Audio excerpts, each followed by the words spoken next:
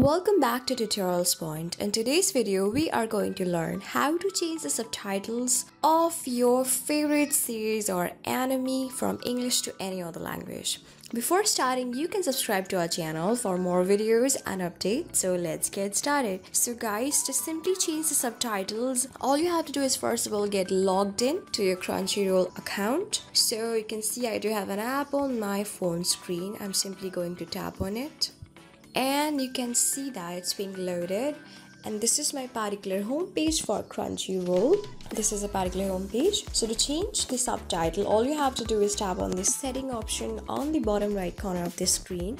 This will take you to various options like of account and profile and just below general you can see there is an option of subtitle language. Just tap on it so currently you can see that the subtitle language is of English. Should you have an option of Spanish, Spanish, Spanish, or Portuguese, or Brazil, or Portuguese, or Portugal, or even the French one, Deutsch, Italian, and Russian, and Arabian. Or simply you can tap on off if you don't want any of the subtitle. So I'm gonna change it to the French one. Alright, and tap on this. So if I'm going to get to my home page, you will see I'll play one of the episodes for you which I was I'll be continue watching. You can see that it's being played and you will see the subtitles in French now. That means these are the French subtitles just below over here. So even you can change it from the ongoing series or that's being played on the screen as well. So you can see that there's a gear icon on the top part, okay?